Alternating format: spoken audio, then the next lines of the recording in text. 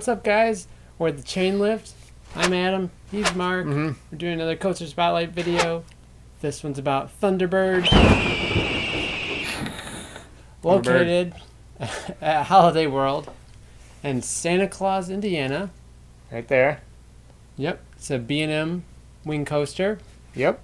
Uh, we're going to give you the stats of the ride, the history of the ride, and at the end of the video, we will score the ride on a scale of 1 to 10 coaster boys.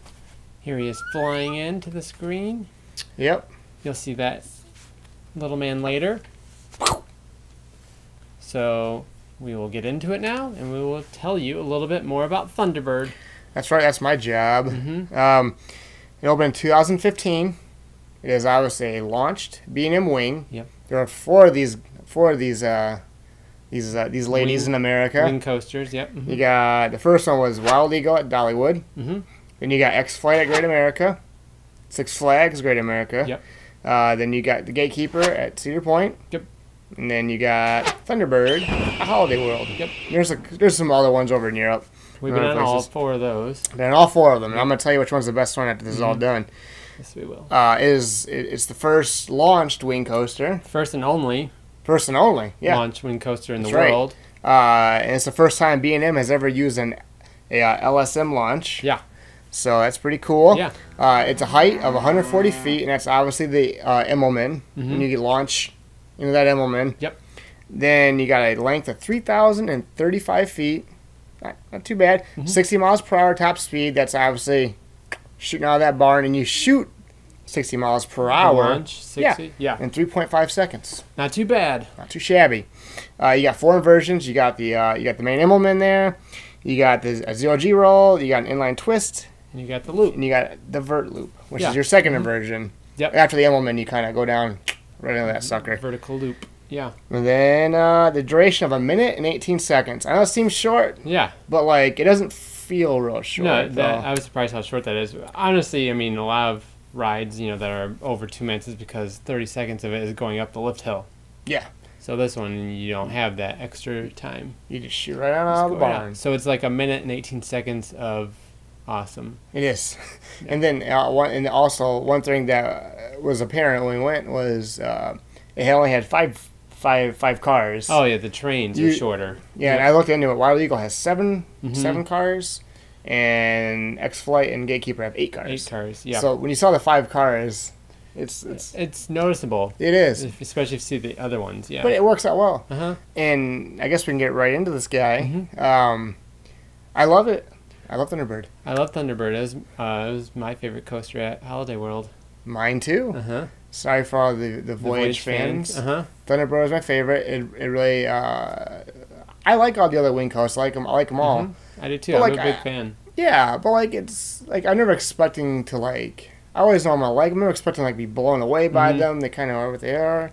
I was I was on the border of kind of blown away by it. I was too.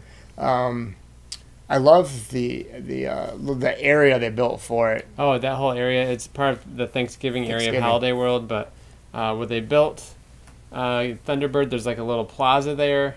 Free pop over there. Free sody when So you're thirsty. what I do is I go get a Mountain Dew. Uh huh. I ride Thunderbird and I Mountain Dew it up again. That's right. Pepsi product, right? Product placement. Product placement. Mountain Dew. I know you're never gonna watch this, but you. like an awesome sandwich. Mountain Dew, Thunderbird, Mountain Dew. yeah, Mountain Dew. hmm We off track. Anyway, go ahead. What were you saying? I like to mix up my drinks there. You su- suicide? Is that what it's called? Suicide? No, not mix them together. You, just every Oh. time we go back to the vending machine, you get a different. They had that that red stuff. What's it called? The Oh, red the pop. red pop, just red pop. That's That's good. red pop. It's like, but anyways, so, It's got the rails. yeah. So, but that area is really nice. The station for Thunderbird's really cool. It looks like an old barn. It's one of my favorite stations for a It's, coaster I've it's seen. It's great. And before you launch, like you, you kind of go out of the main area. There's like a pre-launch area. and then there's like mist, and there's like I think it's like thunder noises. Yeah. Uh huh. And then it launches And out. like whooshum, right into an and it's great for like as you see, we got lots of video going. Mhm. It's it's super picturesque. It did. Oh, there's so many good vantage points. Well, at least the photos. Immelman and the vertical loop. The rest Yeah. of it's kind of Yeah, the rest, like the inline twist in the back through the the shed area. you actually can't even see the shed from Not from at the all. mid, not from the midway. No. It's kind of hidden back there. Mhm. Um, But I, I really liked it a lot. I was surprised how intense it was. Very Uh, intense. and I think the layout's really cool. I love the inline twist through the shed. Like It's you great. kind of helix through it, I think, and then you inline twist into it. Yep. Uh, it's really cool.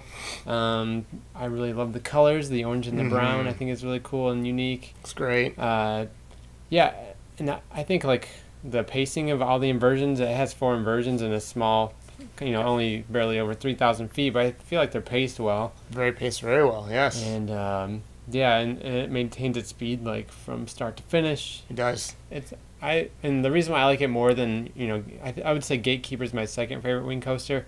Uh, I like this one a little bit more just because it's a little bit more intense and uh, like the other wing coasters. They I wouldn't really call them intense. They're just kind of big and you kind of like feels like you're slowly going through all the motions just because they're big, This kind one- of big inversions and everything. That's my sentiments. It- Yeah. This one feels intense because Mhm. is intense. Yeah. The other ones I like them all, like I said, but yeah, they're not. They're kind of like I'd almost call them like soothing coasters in a way. They just they feel Yeah. like you're going very very smooth and slow, and there's nothing wrong with that. Yeah. You still you know can get going, but Mhm. you know the, the launch sets a nice tone for it because it, Mhm. it, it's never it never relents, but Mhm. it's never too much. Yeah, I agree. Um, and my favorite part of it is actually not any of the inversions. It's No. not like the launch, of course, is up there. Mhm. There's a part after the third. I think the third version is the zero G roll, if I recall. Yeah. And right before you get to the barn, you do this like twist, and it like it's like it just like shoots you down into the Oh, yeah, barn. you're right. That part is cool. It, it- like you That get, is one of the best elements. if you're in the back, man, it really pushes you down. Uh-huh. I love that part. That is cool. It's Yeah. my favorite part besides the launch. There's there's so many good, nice surprises on this. hmm Yeah, but I, I wish they would build more wing coasters because I'm actually a big fan of the wing coaster. I think there will be more. They always seem to be big hits. Yeah. Um, right now, it seems like the popular thing with B&M is the dive coaster. They're going everywhere. Uh huh. So, uh, We just did a Yukon Striker video, so go look for that. Yeah, check Where's the Yukon out. Strike? Yukon Striker. Striker, yes. It is Yukon Striker, Great name. and um, yeah, I love Thunderbird. I'm Me ready too. to give it my score. Okay. Thunderbird at Holiday World. Okay, on a scale of one to ten, I would give it an eight and a half. It's a good score. Eight and a half. That's a solid score. Uh, just ahead of Gatekeeper, which I would give an eight out of ten. Which I just spoiled uh, the future video that we do of Gatekeeper Great. spotlight. Way to go. eight and a half out of ten. It's a good score. Uh huh. I am gonna give eight and a half, but not Coaster Boys. Eight and a half free Pepsi drinks Ah, because you get eight and a half Pepsi drinks at it's a nice Holiday plug. World. Yeah, they got free sody. That's I'm- one of the best parts about Holiday giving- World. I'm giving an eight and a half, but if I could like go in quarters, I'd give this like an eight point seven five. Oh yeah. But we eight and a half, Mm-hmm. only halves. But it's a borderline nine to me. I, I was, I was, I knew it would be fun, Mhm. I for sure. But it, it, it, like I said, it almost borderline like surprised me, like how good it was. Yeah. You know, and that's hard to do at, at this stage. We've been on so many Mhm. coasters. Oh yeah. Especially you know been on three wing coasters. I know they spent a lot of money on- this whole project. It was Mm-hmm. what like the twenty six million, I think. I'm trying it from memory. We don't always fact check, but I think it was around twenty six million dollars. And I know it was a lot for a small park, but Mhm. I think they got their money's worth here. I really do. Um, the area is beautiful over there. The Mhm. coaster is amazing. Mm-hmm. They got the best wing coaster in America. There's no doubt about it. I agree. Yeah. So Mm-hmm. Easily. don't at me. Is that what they say on Twitter? If they don't want to, they don't want to hear the noise. Yeah. uh-huh. Thunderbird is the best wing coaster. Don't It at is. me. Yeah. All right. I agree. Eight and a half, eight and a half sodies on each side. Well, at least Mhm. mine. I gave it Coaster Boys. You Well, I got sodies. All right. Well, that is Thunderbird at Holiday World mm-hmm. in Santa Claus, Indiana. Yeah. Nice park. Love Santa Claus, Indiana, and Yeah. Holiday World. Yep. And Great water park too. Splash. Best water park. Best water park I've ever been to. Yeah. Splashin' Safari. Mhm. And we're gonna do a water coaster spotlight on Wildebeest sometime soon. Stay tuned for that. Yes. If you've been on Thunderbird, let us know what you think about it. You Mhm. can give us your score for it below.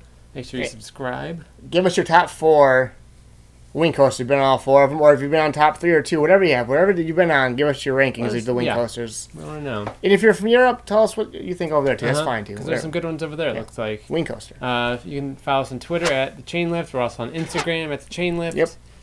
And that's it. Please leave and likes and subscribes, all that fun yeah. stuff. And All right. Bye everybody. Thunderbird.